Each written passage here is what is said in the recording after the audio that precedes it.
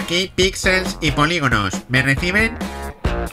Hemos conectado de nuevo el radar y tenemos varios juegos identificados y aproximándose a gran velocidad. Procedo a enviar la información. Cambio.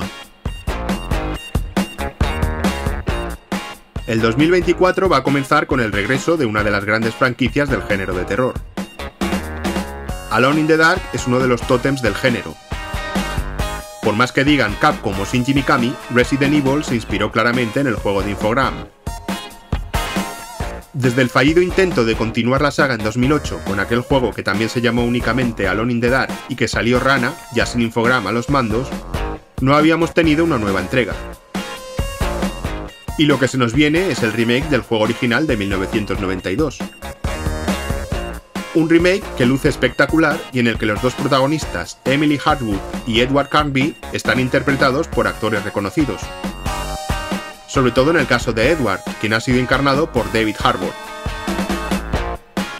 Un regreso por todo lo alto a la mansión Derseto y los horrores que se esconden tras sus muros.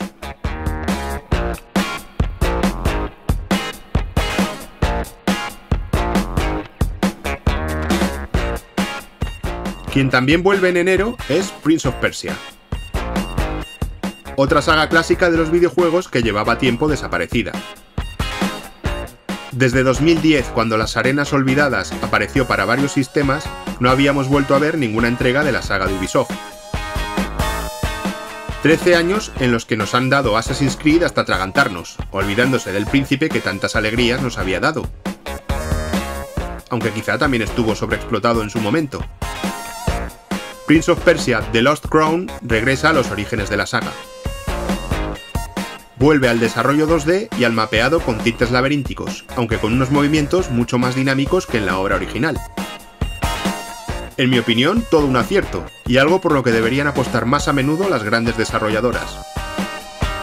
Juegos más pequeños en cuanto a presupuesto y con variedad de estilos y mecánicas.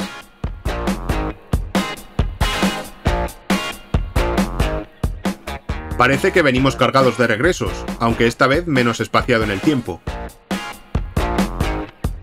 El torneo del rey del puño de hierro vuelve en Tekken 8.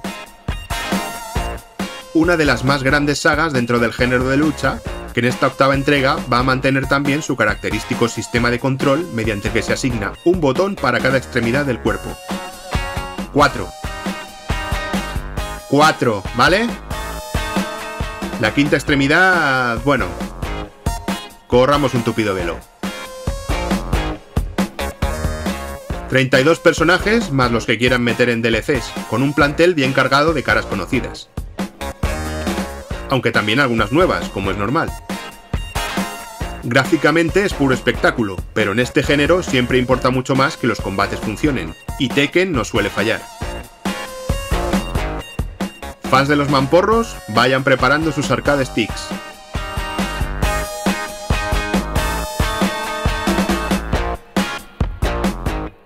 Espero que todavía no te hayas cansado de secuelas, porque llega otra. Muy esperada también y que te puede tener horas y horas pegado al mando. Like a Dragon Infinite Wealth nos vuelve a poner en la piel de Ichiban Kasuga. Esta vez en un viaje que nos llevará desde Japón hasta Hawái. Los combates de estilo JRPG van a seguir presentes, como en Yakuza Like a Dragon, aunque potenciados y más locos, con nuevos y descacharrantes trabajos y formas de personalizar a los personajes que conforman nuestro grupo. Un juego que tiene pinta de ser enorme por la cantidad de actividades que podemos realizar, y con un mapeado el triple de grande que la anterior aventura de Ichiban. Tienes juego para cientos de horas.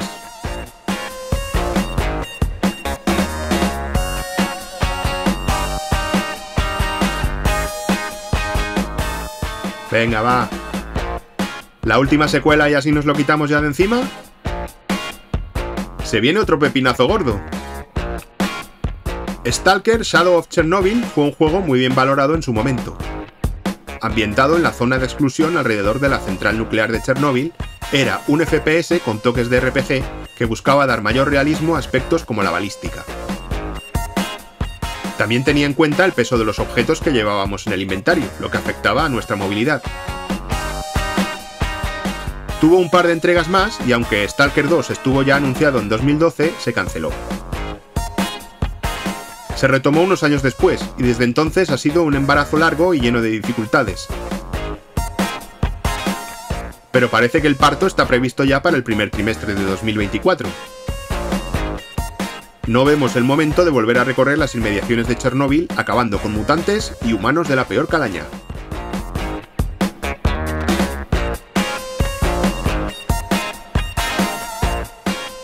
Uno que tendría que haber salido este año, pero que se ha retrasado a 2024, es Decapolis.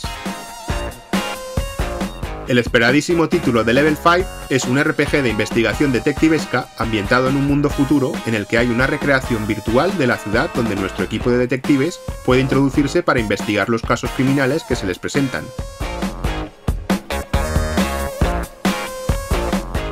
Imagina un profesor Layton más Phoenix Wright, y añádele combates por turnos. Como en otros juegos de investigación, tendremos que estar muy atentos cuando interroguemos a los sospechosos, ya que estos diálogos serán clave para averiguar la identidad del auténtico criminal. Artísticamente, el juego está en la línea del buen hacer habitual de Level 5, con un estilo gráfico anime en el que se puede decir que ya tienen su sello propio, un Matrix japonés de detectives que nos tiene loquitos.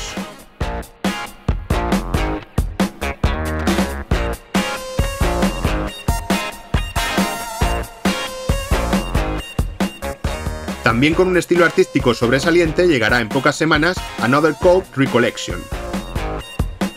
Una recopilación con los remakes de los dos juegos de esta saga de Thing, Another Code 2 Memories apareció originalmente para Nintendo DS, mientras que Another Code R lo hizo en Wii, aunque este solo en Japón y Europa. Dos aventuras de investigación y resolución de puzzles en las que nuestra protagonista, Ashley, debe viajar a una isla para descubrir qué les sucedió a sus padres. Los dos remakes traen evidentes mejoras en el apartado gráfico, pero también nuevos puzzles adaptados a las características de Switch.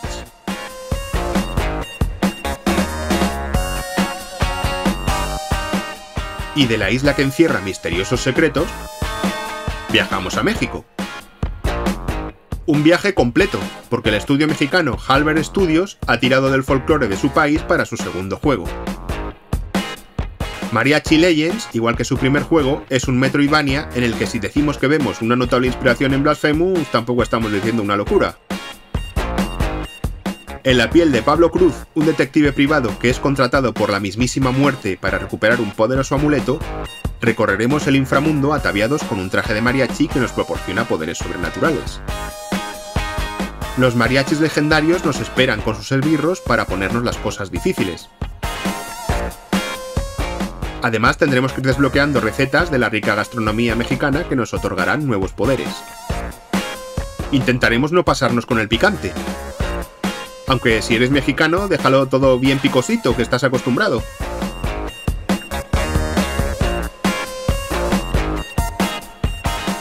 Como si de una receta de cocina se tratara, los chicos de Angry Demon Studios han empezado a echar ingredientes a lo loco en la olla. Y les ha salido este Gory Cuddly Carnage, un juego protagonizado por un gatete subido en un aeropatín flotante. El aeropatín nos sirve como transporte, pero también como arma, nos sirve para grindear por los escenarios como en Jet Set Radio, pero también para destrozar masillas y convertirlos en charcos de sangre. Nuestro aeropatín se transformará para cortar enemigos, y también lo hará en un bonito lanzacohetes con el que atacará a distancia y hacer que todo explote. Nos enfrentaremos a todo un ejército de juguetes mutantes. Con mención especial a los jefes finales de aspecto tétrico y unos diseños de pesadilla después de haberte metido algún tipo de ácido psicotrópico, el conjunto, con las luces de neón que abundan por los escenarios, es de pura lisergia. Y todo esto sin riesgos para tu salud.